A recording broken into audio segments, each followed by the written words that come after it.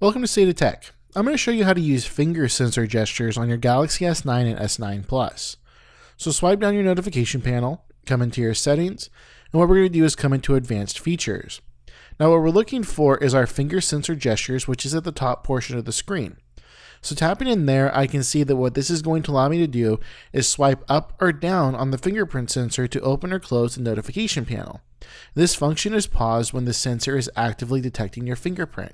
So if we're using our fingerprint to unlock our device, it's not going to work, or if we're using our fingerprint to unlock an application, it's not going to work, but in any other circumstance, it's going to. So now all I have to do now is swipe down on my fingerprint scanner and I'm actually opening up my notification panel.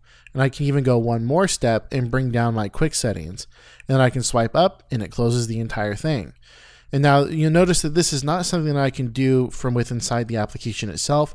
If I wanted to do it regularly, I have to actually swipe down from the top edge of the screen and then keep pulling down or swipe down again to bring up my quick settings.